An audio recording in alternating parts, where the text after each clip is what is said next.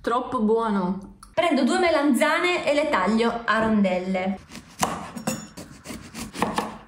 Adesso cospargo le melanzane con del sale da entrambi i lati.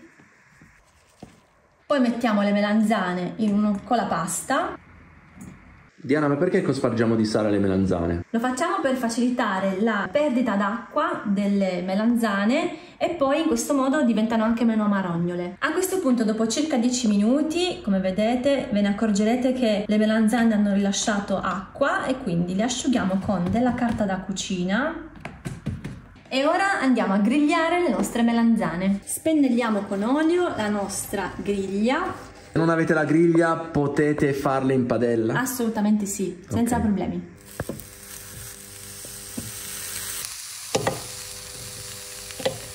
Le prime melanzane sono pronte, quindi le mettiamo sul piatto e grigliamo poi anche le altre. Le melanzane sono pronte, guardate che belle e che profumino. Adesso le mettiamo da parte e prendiamo un avocado, mi raccomando, deve essere maturo, quindi per vedere se è maturo basta che lo schiacciate leggermente e noterete subito che è morbido, anche e soprattutto qui all'estremità. Ora andiamo a tagliare l'avocado a metà, così rimuoviamo il nocciolo con questo trucchetto senza tagliarvi le dita ovviamente. Certo. E mettiamo la polpa in una ciotola. Aggiungo anche un pizzico di sale e ora schiaccio l'avocado in modo da creare una specie di crema. E la nostra crema di avocado è pronta. E ora prendiamo un pomodoro e lo tagliamo a fette. Ora siamo pronti per assemblare il nostro tortino, o forse è meglio chiamarlo sformato, non so, diteci voi poi alla fine nei commenti. Io utilizzerò una pirofila come questa, la mia è ovale, ma va benissimo anche rettangolare o quadrata, quella che avete in casa. Spennello la pirofila con un po' d'olio d'oliva e ora facciamo il primo strato che sarebbe quello di melanzane. Andiamo a distribuirle sulla base della pirofila poi aggiungo uno strato di avocado. Poi aggiungo uno strato di pesto, pesto fatto in casa, potete farlo anche voi con la nostra ricetta, ve la lasciamo nei commenti. Ovviamente il nostro è senza formaggio. Bravissimo. E poi aggiungo anche uno strato di pomodori.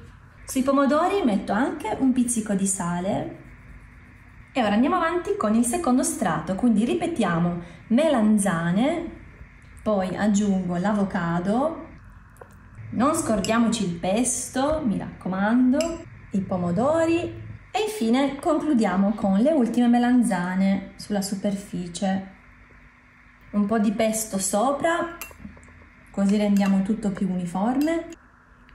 E poi io aggiungo anche delle mandorle alla lamelle ma per pura decorazione, quindi se volete omettere questo passaggio potete tranquillamente farlo. O metterci altro sopra. Certo. E ora mettiamo il nostro sformato in frigo per circa 10 minuti. E ora siamo pronti per l'assaggio, io ho una fame, non so te Alessio. Tantissimo. Andiamo subito, ma prima lasciate un mi piace al nostro video, mi raccomando, condividetelo anche, supportateci come soltanto voi sapete farlo. E vi ricordo inoltre che nel nostro libro potete trovare tantissime idee facili e veloci, ovviamente senza glutine e senza latte. Il libro si chiama Zero glutine, zero rinunce, se non ce l'avete ancora vi lasciamo il link qui sotto nei commenti oppure vi ricordo che lo trovate in tutte le librerie. Che profumo è. Eh? Mm-hmm. Mm. Com'è? Wow. Buono, eh? È proprio ciò che ci vuole con questo caldo perché è freschissimo.